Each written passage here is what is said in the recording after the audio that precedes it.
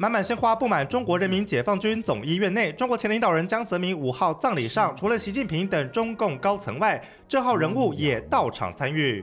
习近平、李克强、胡锦涛等缓步来到中共二十大残废离场的胡锦涛，神隐四十五天后首度现身。央视报道，高龄七十九岁的胡锦涛出现在灵堂，在官员搀扶下，拖着身躯送江泽民最后一程。画面中还可以看到胡锦涛弯腰，双手合十，主动向江泽民遗孀王野平握手，表示慰问。江泽民同志曾到我们社区进行考察。询问着我们生活里的困难。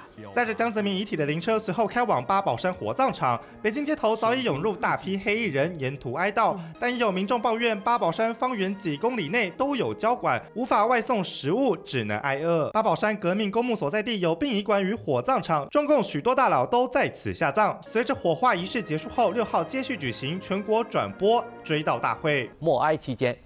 银行间债券市场、货币市场、外汇市场、票据市场、黄金市场。证券期货市场临时停止交易三分钟，不止股会停摆，防空警报也将同步鸣响三分钟，所有娱乐活动停止一天，包括手机游戏也全喊卡。由于不举行遗体告别式，民众将无法亲眼送别江泽民。专家分析，习近平刻意简化追悼，借此打压江泽民派系，同时以疫情为由减少抗争民众群聚。治丧大典虽然仍能受到明争暗斗，胡锦涛现身送别却意外成为媒体关注焦点。三立新闻简许会谢廷浩报道。